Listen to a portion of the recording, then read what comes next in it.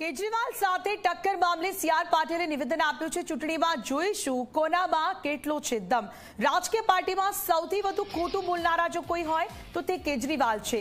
દરેક વસ્તુમાં વિવાદ ઊભો કરવાનો તેમનો સ્વભાવ છે. હોલની બહાર નીકળશે એટલે આમ આદમી પાર્ટીની પોલ ખુલી જશે. સીઆર પાટીલે આપેલું આ મોટું નિવેદન કેજરીવાલ સાથે ટક્કર મામલે સીઆર પાટીલે આપ્યું છે નિવેદન આમ આદમી પાર્ટી જુઠ્ઠું બોલે છે ચૂંટણીમાં જોઈશું કોનો કેટલો દમ છે રાજકીય પાર્ટીમાં જો સૌથી વધુ કોઈ ખોટું બોલતું હોય તો તે આમ આદમી પાર્ટીમાં કેજરીવાલ છે और पाटिल जी इस वक्त यहाँ इस कार्यक्रम में पहुंच चुके हैं सर इस कार्यक्रम के माध्यम से देखिए विधानसभा चुनाव साथ ही लोकसभा चुनाव को भी साधने की क्या बीजेपी की कोशिश क्या कुछ देखो हम अभी सिर्फ़ विधानसभा के इलेक्शन की तैयारी कर रहे हैं। लोकसभा के इलेक्शन को अभी तो बहुत समय है उसके साथ जोड़ने का कोई मतलब नहीं होता है।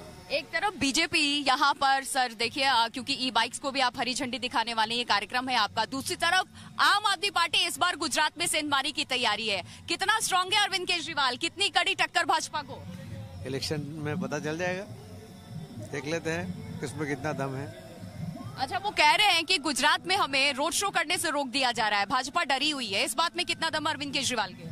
अब बताओ उसने कहाँ कहाँ करने की इच्छा की और नहीं मिला उसको परमिशन हम उसको मदद कर देंगे। कल रात उन्होंने ट्वीट किया और उन्होंने कहा कि कई जगह तो परमिशन नहीं दे रही है। बीजेपी हमें नहीं आ- लोगों के बीच। पॉलिटिकल पार्टी के कई लोग अगर उसमें कोई सबसे ज़्यादा झूठ बोलने वाला कोई आदमी है तो केजरीवाल है।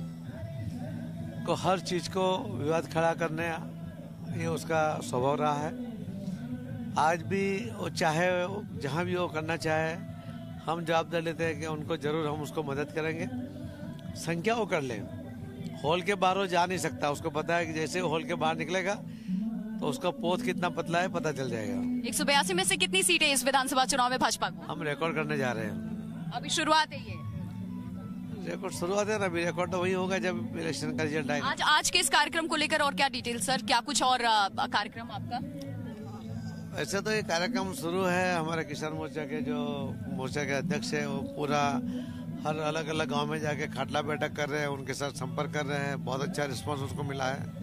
आज भी देखो इतना सुबह में इतने लोग इकट्ठे हो गए उसका मतलब है कि लोग भारतीय जनता पार्टी के साथ जुड़े हुए हैं। बहुत शुक्रिया सी आर पाटिल जी हमसे बातचीत करने के लिए। तो बीजेपी के प्रदेश अध्यक्ष सी आर पाटिल को सुन रहे थे आप, उन्होंने कहा है कि अभी तो शुरुआत है बिगुल बस हमने फूकी है और भाजपा के साथ गुजरात की जनता है। सभी विधानसभा में जाकर के किसानों तक पूरी भाजपा की क्या कुछ रणनीति रहने वाली है, क्या योजनाएँ हैं, इसको पहुँचाने की हमने तैयारी कर ली है और आज इस मंच से नमो किसान पंचायत जो है, उसको हरी झंडी यहाँ पर दिखाई जाएगी, जो अलग अलग गाँव में जाकर के लोगों तक जनसंवाद करेंगे और ये जो ई बाइक की भी आज यहाँ से हरी झंडी दिखाई जाएगी, वो भी लोगों तक जाएँगे और बीजेपी की क्या कुछ उपलब्धि है, वो लोगों तक पहुंचाई जाएगी। इसके माध्यम से भी डिजिटल मोड पे इस बार बीजेपी ज़्यादा फोकस कर रही है और इसकी शुरुआत यहाँ से हम देख सकते हैं ई मोड के ज़रिए किस तरीके से बीजेपी आज इस ई बाइक को लॉन्च कर रही है। कैमरा पर्सन नरेंद्र के साथ प्रिया सिंह जी मीडिया